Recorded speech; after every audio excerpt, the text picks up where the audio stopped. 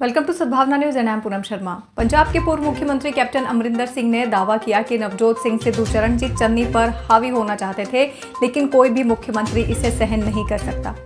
अमरिंदर सिंह ने कहा, एक सीएम को राज्य चलाने के लिए पूरी छूट दी जानी चाहिए। पंजाब कांग्रेस का घमासान कम होता नज़र नहीं आ रहा है। जब कैप्टन ने पंजाब कांग्रेस में राज्य के एक कैबिनेट मंत्री और पार्टी के तीन अन्य सदस्यों को इस्तीफा देते देखा तो अमरिंदर सिंह ने इंडिया टुडे टीवी से बात करते हुए कहा, सिद्धू चन्नी पर हावी होना चाहते थे और कोई भी मुख्यमंत्री इसे सहन नहीं कर सकता। उन्होंने आगे कहा, राज्य चलाने के लिए किसी को पूरी छूट दी जानी चाहिए। अगर सिद्धू को लगता है कि वो चन्नी के ज़रिए सरकार चलाएँगे तो प्रतिक्रिया स्वाभाविक रूप से इस तरह ही होगी। मैंने इस्तीफे का पत्र देखा, मुझे पता चला कि वो दूसरी पार्टियों में भी लोगों से बात कर रहे हैं।